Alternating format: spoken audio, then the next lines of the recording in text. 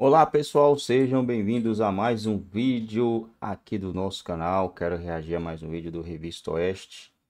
Antes, né, já quero mostrar aqui para vocês, todos vocês que ajudaram o Bento.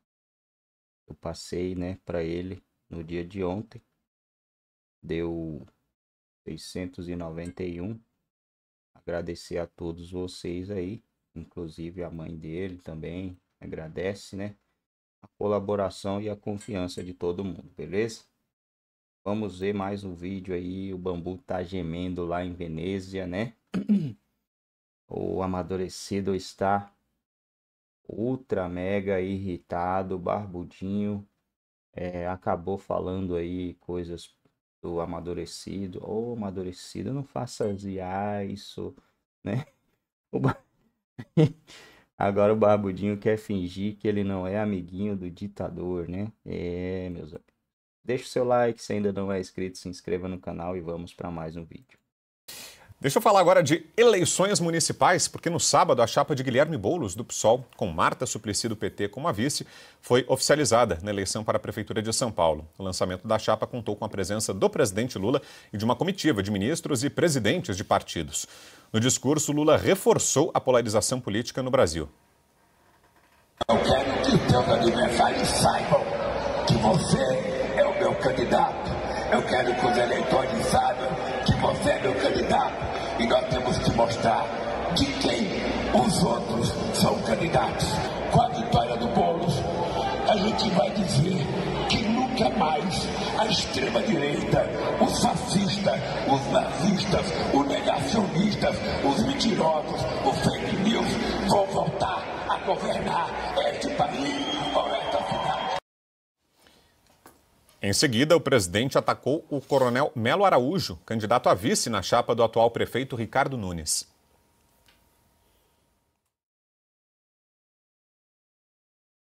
Tinha candidato a vice, o Bolsonaro obrigou a engolir um que era quase um ditador na CEAGESP, tratando mal as pessoas, proibindo o sindicato de funcionar.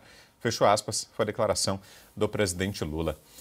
Rodrigo Constantino, começo contigo. Consta sua análise aí sobre o que ouvimos do presidente Lula nesse evento de lançamento da candidatura do Boulos em São Paulo.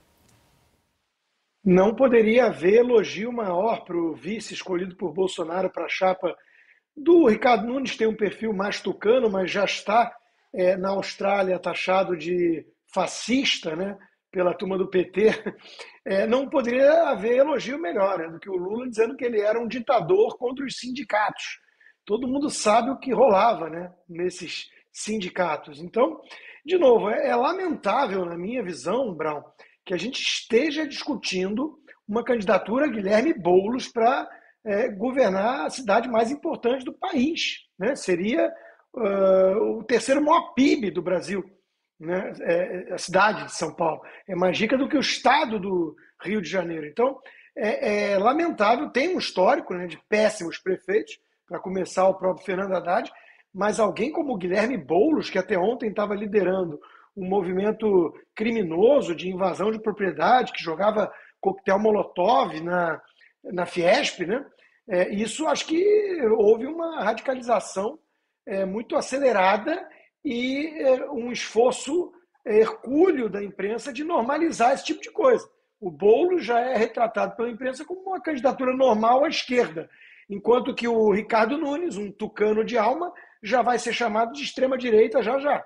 Né? Então, é, é uma bizarrice o que está acontecendo. Para quem conhece um pouquinho da filosofia política, tudo é a, a tal janela de Overton sendo jogada lá para a esquerda. Né? Aquilo que até ontem assustaria qualquer um, é, qualquer dona de casa ligar, ligaria a televisão há cinco anos atrás e, e, veria quem é o Guilherme Boulos com chances concretas de vitória, teria um, uma síncope, né? ficaria apavorada e tudo. Hoje é, normalizaram, né? Ah, vamos ver, pode ser o Boulos, pode ser. Aí vem o, o outro que chegou do nada, o Pablo Marçal, então, de novo, pobres dos paulistas, né, dos paulistanos. É, eu, eu sei de uma outra candidatura melhorzinha, mas com pouca chance, pouca capilaridade, mas vai participar do debate. Então pode ser uma novidade, talvez, o nome ali da Marina Helena, do Partido Novo, que tem mais embasamento, uma visão é, é mais liberal. Agora, é, é brincadeira, né? o Lula falando as besteiras diante de um espelho, né? Que os outros são isso, é mentirosos. O Lula consegue acusar alguém de mentiroso, né? O grau de psicopatia do sujeito. Eu quero crer, quero crer que os eleitores de São Paulo terão algum juízo e que não vão colocar um sanculote tupiniquim jacobino como o Guilherme Boulos no comando da cidade mais importante do país. Agora, Silvio, será que essas falas do Lula também não refletem uma falta de projeto por parte da candidatura do Boulos, que poderia ter lançado a candidatura falando sobre questões da cidade, sobre os problemas, e são vários que São Paulo enfrenta, mas não, o presidente vindo aqui é o estado que é o berço político dele, não é o estado natal, nascido em Pernambuco, mas é o berço político dele. O presidente vem a São Paulo e no lançamento da candidatura fala mais sobre a direita, sobre Bolsonaro, usando os adjetivos como consta destacou agora. Será que isso não reflete também uma falta, um esvaziamento da candidatura, uma falta de projetos e daí a necessidade de a todo momento fazer referência ao adversário, Silvio? O Brown, antes de mais nada, o Lula, quando ele fala sobre a CEAGESP, ele demonstrou uma preocupação com o indicado a vice-prefeito de São Paulo na futura chapa de Ricardo Nunes ter presidido a CEAGESP. Eu acho que o Lula deve se preocupar com o Google. É, procure aí. Vamos lá. É, Valmir Pracidelli, conhece Lula? Conhece Ana Lúcia Cunha Pucharelli? Não? A, irmã do João Paulo Cunha, que foi deputado federal? Conhece? Conhece por acaso Walter Pucharelli? Conhece Ângelo Bozan? Isso é só o que a minha memória traz agora. Pode fazer o Google, vá procurar. Esse pessoal mandava no setor de recursos humanos do CEAGESP, que é o maior entreposto da América Latina. Esse pessoal mandava lá. E eles sabem muito bem o que acontecia na CEAGESP e não era nada republicano. Aliás, era assunto de polícia. Então, o Lula, quando fala sobre a CEAGESP, deveria se preocupar com o Google, porque o Google entrega tudo para ele. E, Brown, respondendo à tua pergunta, é claro que uma tentativa de trazer uma eleição como a de São Paulo, que é. A cidade de São Paulo é, um, é, um, é praticamente um Estado. Né? É o maior colégio eleitoral do Brasil. É claro que tentar levar isso para o plano federal ajuda o Lula porque vira uma espécie de nós contra eles, vira um fla-flu e o PT sempre viveu disso. O Lula é quem é por causa desse embate polarizado. Mas o cidadão, o eleitor paulistano, está preocupado com o roubo de celular, está preocupado com a expansão da Cracolândia. Aliás, não é mais uma, são várias. O cidadão paulistano está preocupado com a saúde, com a educação, com a creche, com a zeladoria da cidade. A cidade está suja, tá boa, tá ruim. É isso o que o cidadão está preocupado. E não com o que o Lula acha ou deixa de achar sobre o que ele chama de extrema-direita, ultradireita. Ninguém quer saber o que o Lula pensa. E aliás, Brown, finalizando, é, assistam de novo a fala do Lula. Eu não acho que o Lula está bem, não. Vamos falar agora sobre as eleições na Venezuela. O ditador Nicolás Maduro voltou a fazer ameaças caso não vença as eleições presidenciais que vão acontecer nesse próximo domingo. Desta vez, durante um comício no final de semana, Maduro sugeriu que o pleito é uma escolha entre a paz ou a guerra. Contrariando as pesquisas de intenção de voto independentes, Maduro insistiu que é o favorito a vencer a eleição. A partir de agora querem alegar fraude. Eles sabem a verdade. A rua sabe a verdade. O povo sabe a verdade. Estamos vencendo e os estrangeiros sabem disso. Fecha aspas. Hoje, o presidente Lula rompeu o silêncio e comentou as ameaças do aliado venezuelano. Em entrevista a agências internacionais no Palácio da Alvorada, o petista disse que ficou assustado com as declarações do colega e que Nicolás Maduro, abro aspas, precisa aprender a se retirar do povo caso leve um banho de voto. Fecho aspas.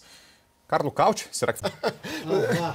Mas, assim, algo do tipo, assim, quem podia imaginar, né, que o Maduro ia falar de um banho de sangue se perdesse. Maduro, democrata, a velho estilo, né, quase um britânico, um lord britânico de 1800, né, um democrata compassado, né, contido, sério. Nicolás Maduro, um ditador sanguinário da pior inclusive uma caricatura de ditador com aquele bigode é, é, de caudilho do Caribe de terceira categoria, aquela pança é, de quem rouba até. Tem uma foto dele surreal lá em, em Istambul, se não me engano, na Turquia, ele comendo no restaurante, um dos mais caros do mundo, com charuto na boca. Então, inclusive, é cafona, porque fuma charuto enquanto come, uh, com dinheiro dos venezuelanos. Ou seja, o pior do pior que a América Latina já produziu, porque Fidel Castro também era um ditador, mas era um cara sério, né? Pelo menos Che Guevara também era um cara autoritário, mas era sério. O Maduro não é uma caricatura. Consegue ser até pior do que o Chaves. E o Maduro, ele foi acolhido, ele foi recebido no Brasil no começo do mandato do presidente Lula com pompa magna em honra de chefe de Estado, um cara que está sendo investigado por crimes contra a humanidade pela Corte Penal Internacional e foi recebido no Brasil no começo do mandato do presidente Lula como se fosse uma liderança internacional digna de respeito. Esse cara aqui é um bandido, é um gangster, é ligado ao tráfico de drogas, está formando a população venezuelana. Um terço dos venezuelanos foram embora do país, devastou a economia do país que era o mais rico da América Latina. Temos uma inflação que supera um milhão por cento ao ano, os caras estão mentindo até nos dados da inflação, e a gente se surpreende, o cara fala em um banho de sangue, se vai perder a eleição. Assim, é de um surrealismo, esse é um surrealismo latino-americano que acho que é uma, é uma, um livro é, do, do Gabo, né, do Gabriel Garcia Marques, é, teria menos fantasia daquilo que a gente está vendo hoje na política latino-americana. Diga, Piotr. Acho que o Caute resumiu, né? Ele é uma caricatura, o Maduro, só que é uma caricatura perigosa. Ele, isso não é bravata, não. Um ditador que está no poder, que não quer deixar o poder, diz que, olha, se eu não ganhar vai ter um banho de sangue, ele está fazendo uma promessa. Ah, e o que mais constrange, e aí eu estou falando, obviamente, o venezuelano, o povo venezuelano está sofrendo isso na pele. É a dor do venezuelano. Mas o que nos constrange como brasileiros é a omissão ou a posição praticamente pífia do governo brasileiro, do governo Lula, do governo Lula, porque os brasileiros não pensam assim, do governo Lula em relação a isso. Enquanto você tem, por exemplo, né, é, Argentina, Costa Rica, Guatemala, Paraguai, Uruguai exigindo exigindo uma postura clara de compromisso com, por exemplo, todos os acordos internacionais. Acho que teve um acordo de Barbados, inclusive assinado no ano passado, em que todas as partes se comprometiam, mas sobretudo o governo que está no poder é uma ditadura, se comprometia a este governo a, a, de Maduro a, com eleições justas e transparentes, mas a, a gente já não tem certeza que serão transparentes, a começar daí. E vem o governo brasileiro com essa omissão, essa, essa tentativa de tergiversar sobre o assunto do presidente Lula. Ele não consegue chamar de fascista um ditador, de nazista um ditador, que é amigo dele, e ele vem tratar desse assunto e está preocupado com o vice do Ricardo Nunes na eleição de São Paulo. Veja só onde é que o Lula está. O Lula realmente não está no seu melhor. Silvio, temos mais dois minutos antes do intervalo. Diga lá. Não, eu acho que, eu não sei se a gente vai conseguir mostrar uh, a imagem do, do, do, super bicote, né? O super bigode da Silita. Olha, é, é, esse é o Nicolás Maduro, né? É, eu acho que o Cauti foi muito feliz quando ele falou. Ele é uma caricatura, ele é um ditador, evidentemente. A população venezuelana sofre com tudo isso é, e sofre a tal ponto que ele teve a grande ideia de distribuir esses dois bonecos, ó, que é a Silita, que é a primeira dama, né, a mulher dele, e ele que é o super bigode, traduzindo aqui do espanhol, uh, para uma população que passa fome, para crianças que não têm o que comer, para uma saúde pública péssima, para criança que não tem escola, para desempregados. Esse é o Nicolás Maduro, num país que, segundo o presidente de turno do Brasil, Lula da Silva, é uma democracia relativa. É. É, é para lá que a gente vai? Mais um intervalo. Bom, pessoal, é isso aí, né? O nível a que chega uma população quando não tem nada de conhecimento, quando tiraram tudo que elas tinham, né? E agora resta aí uma promessa de dias melhores. Um boneco do Salvador, o super super-herói, o Salvador, cara. O cara enfiou as pessoas na pobreza extrema. Destruiu o país, cara. O cara é procurado não pode nem sair do país. E mesmo assim, existem pessoas idolatrando o cara, gente. Eu achei que aqui no Brasil é, o povo era besta. Eu achei que aqui no Brasil a gente ia ter uma chance, né? Mas se o cara, bandido, julgado em três instâncias, condenado em três instâncias, passou mais de 500 dias na cadeia e mesmo assim tem foto do cara no sítio, tem foto do cara no apartamento. Tem o áudio, o vídeo, o áudio não, o vídeo do Batista lá falando que depositou algumas milhas na conta do cara. Mesmo assim, as pessoas acreditam no cara. Esse é aquele caso que o amigo do cara chegou, ó, mano. Eu vi sua mulher ali com o cara ali, rapaz. Parecia, hein? Parecia que tinha alguma coisa ali, hein? Sei não, fique esperto. Não, você tá doido? Que isso? Confio. Confio no meu taco. E aparece outro. Cara, eu vi sua mulher saindo com o cara ali do. Do mote, né? Motiel. Você tá maluco, rapaz. Eu acho que você confundiu. A pessoa tava dentro de um carro, então tava de capacete. Parecia ela, mas não era. Fique esperto, não, mano. Eu vi, era ela, eu vi, eu tenho certeza, eu conheço. Mas fique esperto, né? Você não quer acreditar e tal. É, sonda ela, vigia. Vai procurar saber da verdade. Aí chega alguém com vídeo mostra o vídeo pro cara, fala, ó, isso aqui é mulher. Ó, você não tava acreditando, agora que eu vou trazer o vídeo aqui, mostrar o vídeo para você. Ah, não, tá meio escuro, tá meio embaçado. Não é ela não, parece. Não, mas olha aqui a tatuagem, não é igual a dela que ela tem aqui na, no braço, nas costas, sei lá. É, a tatuagem é igual, mas né? Tem muita gente que pode ter dessa tatuagem. Não é ela não. É assim que é o petista, né? Ele é desse jeito. Infelizmente, ele é desse jeito. Você mostra o vídeo, mostra o áudio, mostra as provas. É engraçado quando a gente vê esses youtubers, né? Que faz ali a, a entrevista com a pessoa Aí quem falou isso, isso, isso? Ah, foi isso aí, foi o Bolsonaro. Não foi, foi. Mentira, é fake news. Você é de direita, né? Você tá falando fake news.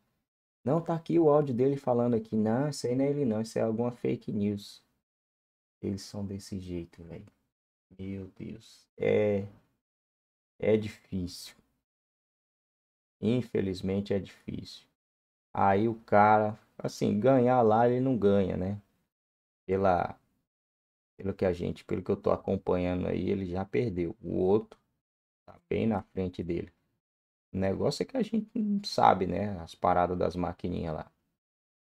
Mas de ganhar, ganhar, ele não ganha. Mas só de ter 30%, 35% e tá junto com esse cara, me dá um, um, desânimo tão grande dá uma sensação de derrota humanitária tão grande.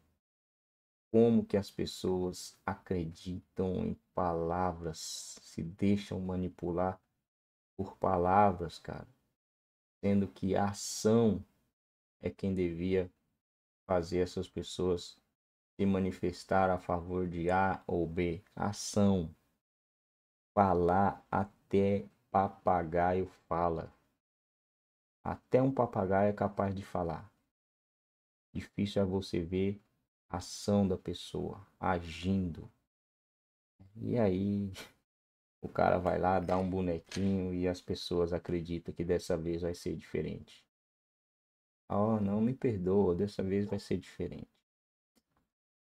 Confia, né? Como diz aquele meme lá, confia. Serviço secreto admite que fracassou em atentado contra Trump. Ah, vai ficar só por isso mesmo. Admitir que fracassou. Não, gente. Né? Não é só isso. Pelo menos o que parece é que não é só isso. Lula se posiciona pela primeira vez sobre Maduro e eleições na Venezuela. Será que amanhã lembrará que desistiu? Afirma Nicolas ao ironizar Joe Biden. Pior, né? Ele desistiu.